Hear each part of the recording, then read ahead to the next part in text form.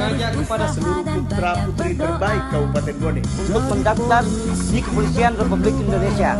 Yang mana penerimaan calon anggota Polri sifatnya gratis. Tidak dipungut biaya. Semua bebas dari kolusi, korupsi dan nepotisme. dan dilaksanakan dengan sangat bersih, transparan, akuntabel dan humanis. Jangan percaya dengan calon. Ataupun oknum yang menjanjikan kepada kita untuk bisa meluluskan kita pada Republik Indonesia. kalau ditemukan ada pungutan kami sebagai eh, masyarakat berperan serta mengawal kesuksesan Dan nantinya kami berharap putra, bukti bangsa Indonesia yang lulus dari kepolisian menjadi polisi yang beriman dan bertakwa serta berkualitas. Percaya diri sendiri, pelaksanaan pendaftaran ini semua sifatnya gratis. begitu sekali lagi selamat mengikuti seleksi.